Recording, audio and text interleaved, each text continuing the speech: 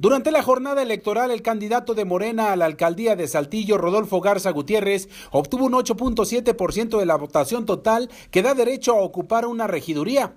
Sin embargo, el Comité Municipal del Instituto Electoral de Coahuila asignó el cargo a otra integrante de la planilla bajo el argumento de la paridad de género.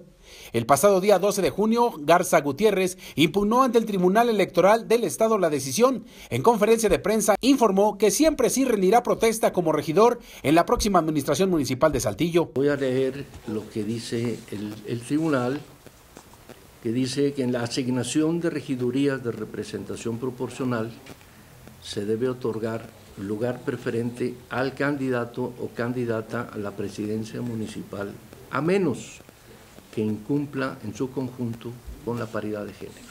Dijo que en lo anterior el tribunal se respalda en el artículo 19 del Código Electoral vigente en el Estado. Acusó al Instituto Electoral de actuar con dolo ante la decisión que fue revocada por la autoridad en mención. Y también agregó que por primera vez el Movimiento de Regeneración Nacional, o sea Morena, cuenta con 21 regidurías en toda la entidad, convirtiéndose en la tercera fuerza política del Estado. Con la imagen de Miguel Cerda para RCG informó Enrique Hurtado.